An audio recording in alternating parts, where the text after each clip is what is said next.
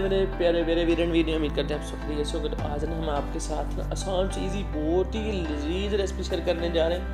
आपने तो बिल्कुल भी नहीं करनी। अगर आप चाहते हैं ना ईद पे कि आपकी वही, ओहो, बड़ी बात हो बड़ी सब आपकी तरीफे करें तो आपने ये रेसिपी ज़रूर ट्राई करनी है। बहुत ईजी आप देख लें कैसे मलाइयाँ बन रही हैं ना। तो आपने देखना ये है कि हमने ये इतनी लजीज और इतनी मलाई वाली रेसिपी कैसे तैयार की है। तो चलें जी, कर लेते हैं अपनी रेसिपी स्टार्ट आज हम आपके साथ शेयर करने जा रहे हैं जी फिरनी की रेसिपी जो इतनी आसान मुझे नहीं लगता किसी ने आपको रेसिपी दी हो।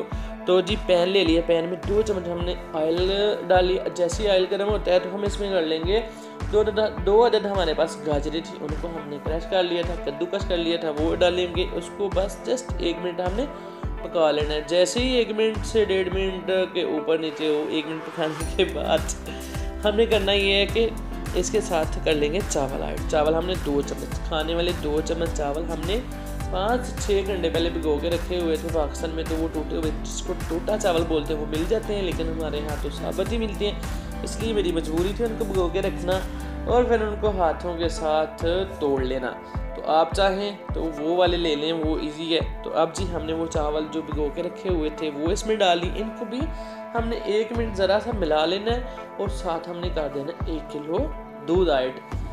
दूध ऐड करने के बाद हमने इनको 15 से 20 मिनट पका लेना है। दूध जब ऐड करेंगे तो साथ ही दो अदद हम इलाचियाँ साबत इलाचियाँ डालेंगे। खोल के नहीं, साबत जैसे होती हैं वैसे इसमें ऐड कर लेंगे अगर आपके पास इलाची पाउडर होना तो आप वो एंड में आप चाहे ऐड कर लें इसमें। अब हमने करना ये है कि इसको 15 से 20 minute low to medium flame पे पका लेना कवर कर।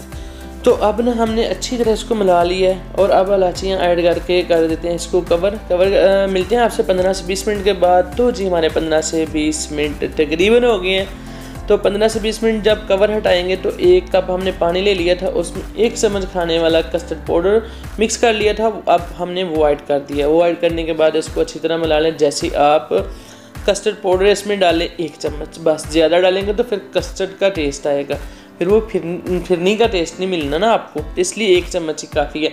उसको ज़रा सा मिक्स करके फिर से कवर कर देंगे चार से पाँच मिनट के लिए और साथ ही कर देंगे। बादाम ऐड नट्स जो भी आपके पास हो ऐड कर लें। अगर ना हो तो फिर भी सिंपल आप बना लें, बहुत ही मज़ेदार बनती है। अब जी पाँच से सात मिनट पैन ओपन रख के हमने पका लिया और देख लें ये काफ़ी ज़्यादा थिक हो गया। अब साथ ही करेंगे चीनी ऐड। चीनी पहले क्यों नहीं ऐड की? अगर आप चीनी पहले ऐड करेंगे तो ये नीचे लगती है इसलिए चीनी बाद में डाली जाए। चीनी डालने के बाद हमने इसको मज़ीद दो मिनट पका लिया है तो दो मिनट के बाद हमने फ्लेम बंद कर दी थी और इसका इंतज़ार किया ठंडा होने का। अब ठंडी हो गई है तो हम करने लगे जिसको प्लेट और, ऊपर थोड़े से इसमें डालेंगे। पेस्ते वगैरह तो अगर आपके पास जो भी आप वो डाल लें तो उम्मीद करते हैं आपको हमारी ये रेसिपी पसंद आई होगी। अगर आपको हमारी ये रेसिपी पसंद आई है तो हमारे चैनल को सब्सक्राइब भी कर दें और लाइक भी कर दें। मिलते हैं किसी नेक्स्ट वीडियो में। रखिए अपना और अपने प्यारों का बहुत सारा ख्याल। अल्लाह ने के बाद।